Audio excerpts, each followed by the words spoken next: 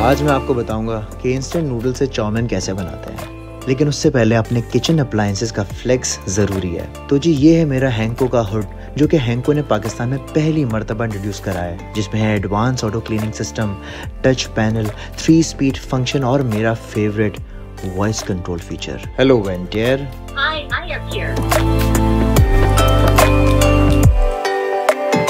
Noodles boil पर चढ़ाने ही थे और गैस चली गई।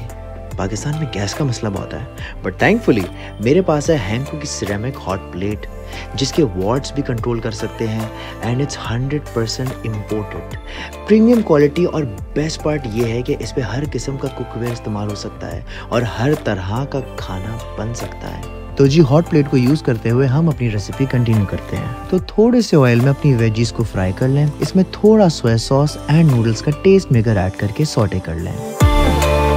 Add your noodles and stir fry them. And voila! मज़ेदार और इजी इंस्टेंट नूडल्स की चाउमिन तैयार है गैस की टेंशन लिए बगैर thank you Hanko for better life आप लोग भी इनकी वेबसाइट से ऑर्डर कर सकते हैं डिस्क्रिप्शन के अंदर लिंक मौजूद है और अगर मेरा प्रोमो कोड यूज़ करेंगे, जो कि है अजलान एक्स हैंको तो उसमें आपको डिस्काउंट मिल सकता है